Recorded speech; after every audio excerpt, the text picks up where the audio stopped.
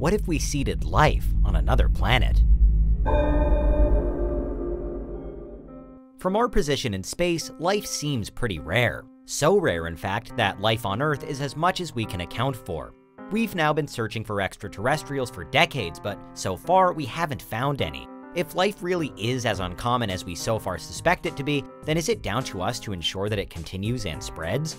This is Unveiled, and today we're answering the extraordinary question, what if we seeded life on another planet? Are you a fiend for facts? Are you constantly curious? Then why not subscribe to Unveiled for more clips like this one and ring the bell for more fascinating content? How did life come to be on Earth? There are a range of theories, including the idea that we emerged out of a primordial prebiotic soup billions of years ago, as well as other proposals which argue that maybe it didn't actually start on this planet at all.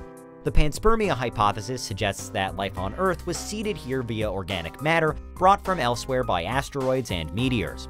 Regardless of how we got here, though, panspermia is an idea that could feasibly affect us at the other end of the debate, too. We could become the ones doing the seeding. In fact, we may have even done so already. The Voyager probes, humanity's farthest flung machines in space for example, weren't sterilized to today's higher standards when they were launched out into the cosmos in the 70s. And given all of the space missions we've seen in just the last few decades, there have already been countless moments when germs and microbes from Earth may have been unintentionally sent towards other planets, moons, and asteroids.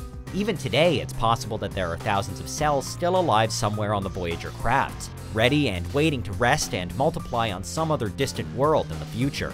To some extent, accidental panspermia goes hand in hand with our desire for space travel. It's arguably unavoidable. But were we to purposefully seed life somewhere else, then what would be our motive? Well, for one, the continuation of the human race. As we aim to venture further out into the solar system, we do so in part to find other planets that are like Earth, or that can be terraformed to become like Earth. And in a worst case scenario where the real Earth, for whatever reason, becomes uninhabitable, then humanity can survive on whichever planets we'd most successfully adapted to meet our needs.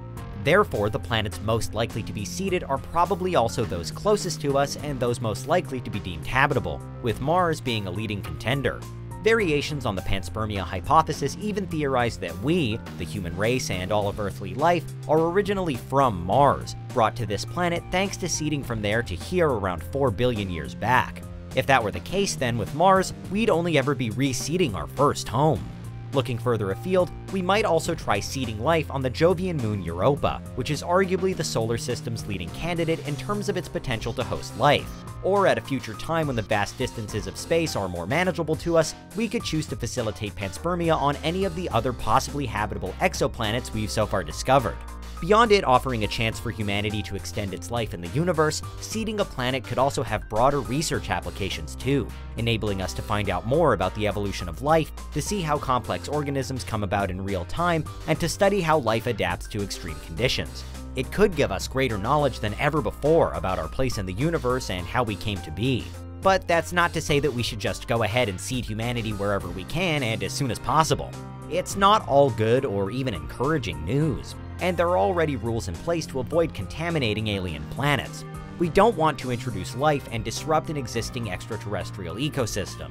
We also don't want to accidentally seed life on another planet that we could later mistake as having originated from that planet and we don't want to cross-contaminate during a return mission, thereby losing track of potential alien microbes that we could also be redistributing. Today, you can work for NASA as a planetary protection officer, whose job it is to ensure that these practices are followed. More than overcautious science, there's a major ethical debate at the heart of this question, too. Say humans were to one day arrive at another planet where they know simple life already exists, or they don't know for sure that it doesn't any deliberate attempt to seed our own strain of life could alter the evolutionary path and disrupt the nature of that other world. One way to sidestep the great unknown of sending humans anywhere that might or might not harbor life could be to use artificial intelligence instead. Theoretical physicist Claudius Gros has proposed seeding life through what he calls the Genesis Project. The idea is to have purpose-built probes carrying organic material sent to alien worlds, but each probe is controlled by an onboard AI, which can reliably determine whether life already exists from afar. If it doesn't exist, then the probes are deployed. If it does, then they're not. For Gros, the AI tactics could then be prolonged to help the microbes that it does let loose to fast track into more complex life forms, leading to a future time when humanity can safely seed and monitor life across multiple galaxies, without ever traveling to most of them itself. It's hoped that a Genesis probe could even be built and in operation by the end of the 21st century. So, watch this space. While something like the Genesis probe would afford us a degree of control, however, if we really were to seed a planet, then we could expect all kinds of new and unique creatures to spawn in time. Life generally adapts to its surroundings, with Earth hosting millions of species itself, but there's really no telling what kinds of adaptations would take place to align with a never-before-seen alien environment. In this way, a planet seeding project could go further than simply discovering whether life itself is rare by determining whether intelligent life is also something which can be replicated. For some, intelligence is the logical end goal for all evolution, while for others, it's more an extremely unlikely and uncommon occurrence. Is humanity simply one stage in unstoppable progress, or are we purely the product of a long-winded coincidence?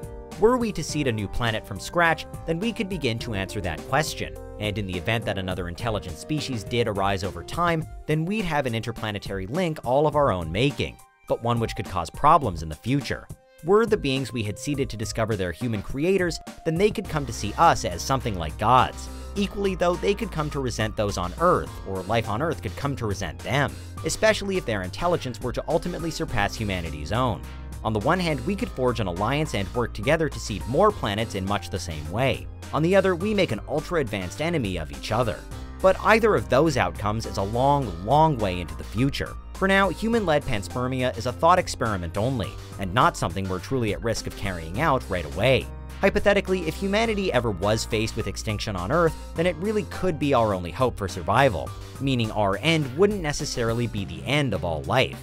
Similarly, if we ever do hope to live on other planets, then it could be a crucial part of our early plans. There are major ethical questions at play, but that's what would happen if we seeded life on another planet. What do you think? Is there anything we missed? Let us know in the comments, check out these other clips from Unveiled, and make sure you subscribe and ring the bell for our latest content.